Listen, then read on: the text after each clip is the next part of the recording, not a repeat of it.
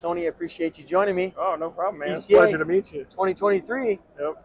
Now you've been working in the tobacco business for three years, Yes, sir. and and you don't own the store. I don't. You no, work sir. for Mark. I work for Mark Castle. Yes. Yeah. And how many stores are in the area? You said that two we, of them. We have two directly in Winchester, and so we're uh, we're outside of DC, so we're about an hour and a half from Shelley's, and then there's one in Harrisonburg, which is an hour south, and then we've got another one a little, little bit closer in Staunton, Virginia, called Beverly's, Got it. and that's about. There's one in Martinsburg, but I don't remember the name of it. And Mark bought it About four years ago. now. four years ago. Yeah. Okay. So you pretty much have been with Mark since he started, right? Yes. Okay. And what made you get into the retail tobacco business? Like, So just- I started smoking cigars when I was 16, but it was the light stuff you get from the Yep. gas station. So when I, I tried a cigarette and I hated it. Yeah. Uh, but I was like, I love the smell. I didn't really necessarily like like the Phillies and all the other and the Dutch Yeah. Masters. I like the smell, so I would blow out of it and act like I was doing it. And then in my mid 20s, uh, I was like, you know what? Getting a little older, I like cigars. I, I got into the premium cigars, and I kind of just it's been exponential growth from there. I was like one or two a week, and now I'm one or two a day at least. yeah. And what made you go work for it though? Because did you give up a previous career? Uh, no. So Were you I doing was, it part time? I was, I was doing it part time. I worked in healthcare. I was taking care of a family's autistic daughter previously, and then I worked in a house uh, taking care of wheelchair adults. Like I said, uh, no, I just I was sitting in there one day because it was a day off, and Mark needed help on a weekend, and he's like, "Do you want to work Sundays?" And I was like, "Well, absolutely, because if I'm in town, I'm going to be here anyway. Might as well right. work." So he's like, "Listen, uh, I'll pay you when I can." And I was like, "Dan, you just hand me a couple cigars, and that's my pay for the day." And it's been it's been great ever since. Nice. Awesome. And as you've been in tobacco, being a retailer, what would you say like what is there any one experience that you remember that you're like that's why I love being a tobacconist? So that would be just just the. So we, we always talk about it. We have guys from every walk of life, and, and cigars are the great common denominator. Because I've got a buddy that uh, is a family law lawyer, one of the best in Virginia, and he and I wouldn't interact if it weren't for cigars. Now we found other common stuff we're interested in since we've uh, got cigars, and we'll sit. And he's probably one of my favorite people in the shop, and it's it's those connections and that great equalizer. It's like you don't walk in and that guy's not going to talk to you because you're not on his level. Everybody at our shop is friendly and great conversation. It's actually ruined me, so I can't sit on my deck anymore and smoke a cigar.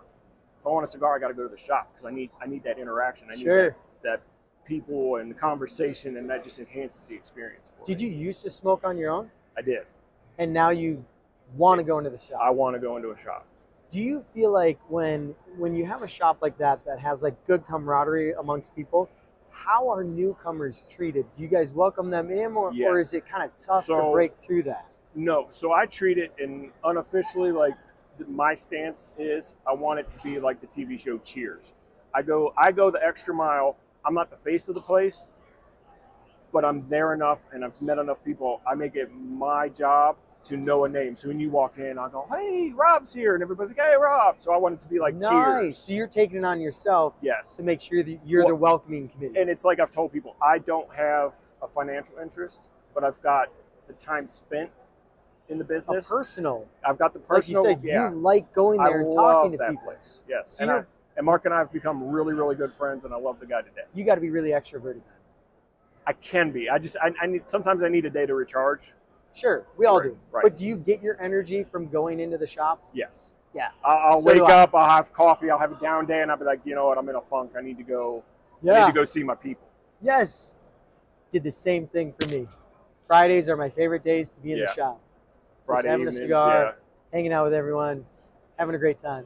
We got a nice fire pit out back, so Friday nights we're usually doing a fire pit, Nice. just hanging out, and somebody will bring something to drink, and we'll, we'll share it. It's it's it's a wonderful time. I love it. I love it. So do you guys also have community involvement there? Like do you guys reach back out to your community? Do you volunteer? Do you do anything that kind of gets you involved? We have. So we have a uh, festival. It's called Apple Blossom, and it happens every year into April, early May. And so there's a lot of. We've been trying to reach more out to the community, but we've we've gotten big into Cigar for Warriors, and for having one shop and being a small shop, uh, our rep Ethan has told us we're one of the biggest donators, and we're just like we take that to heart and we take that with pride. We're like It's awesome. we want to help our veterans. We have a standing 10% uh, first responder veteran discount, so you don't even have to be a member of Shop with Discount. You come in, you'd be like, oh, you were like you, you'll see the guys with the shirt or the hat, and you'll be like, oh, a Vietnam hat. You're like, oh, thank you for your service. Here's an extra 10%. Or if I'm working on Sunday, I get a free cigar. And there's been times where I'm like, hey man, I really want you to try this cigar, so I'll give my free cigar for the day to Nice. a veteran to try Nice. because I I didn't serve, but my dad was Navy. I had an uncle that was in the Navy. My grandfather was in the Air Force, so that's really important to us. Sure. So you guys do a lot of stuff for Cigars for Warriors with Yes, the sir. community, and then everyone supports it. Yep. That's awesome. Awesome, awesome.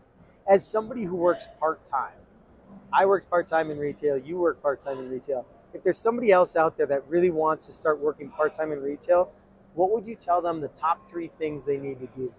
Uh, so I always that's the one things I love about the cigar industry is I still call myself a novice. Like my knowledge in the last three years has exponentially grown, and I feel like there's still a lifetime of stuff to learn. So it's just start learning what you like and trying to explain it well to people and take your recommendations seriously because it doesn't do me any good to recommend a bad cigar.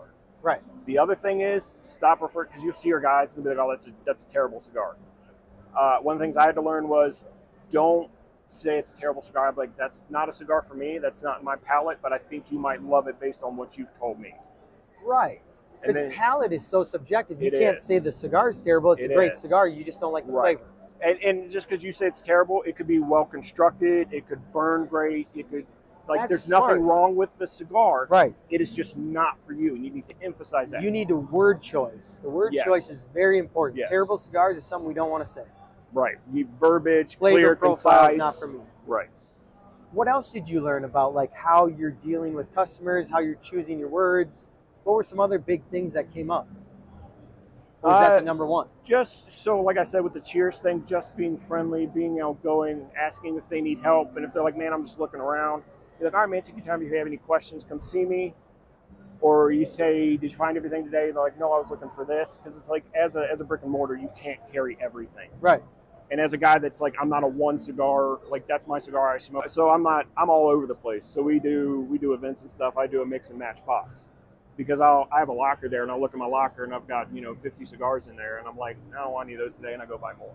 Right. because I've turned into a cigar nerd. So it happens now, what about okay? So I know when I was in part-time retail, the big thing was, "Hey, I really like this cigar. What would you recommend?" And I may not have smoked that cigar. What do you do then? I try to ask them about what they liked about it try to get a try, try to get so like palate's subjective and, and what you get out of it so I try to get an idea of what they get and if I can't figure it out I'll be like okay is it medium body is it medium strength like I try to figure out where they are so one of the first things I've, I've learned to ask are you a light medium or full smoker do you like and when you're a full smoker do you like full body do you like full flavor but not necessarily a full punch in the face like strong cigar Right. and some guys will be like, I don't like it really. So we'll we'll tailor to that.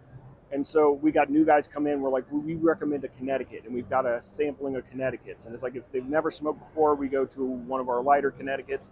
And if they smoked occasionally, we'll be like, try this step up because it's like a medium to a, it's a mild to a mild plus.